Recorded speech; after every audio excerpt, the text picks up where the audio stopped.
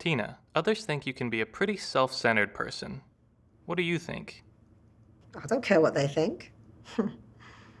I care what I think. Oh, yeah, yeah. Tina is a legend, all right.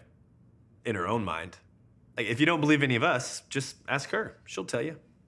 Her ego is so big, it deserves its own zip code. You do seem to be very self assured. Where does that come from? It's pretty obvious, isn't it?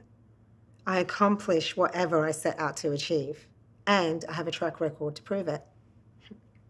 Anyone who's been around me for 10 minutes can recognize my potential. The key to understanding Tina is her self assurance. She always stands her ground, even when she's wrong. I always say she's frequently in error, but never in doubt. I think those of us who are visionaries and top performers deserve a certain level of admiration and respect. If others want to be smart and win, they could learn a lot from me. What's it like working with Tina?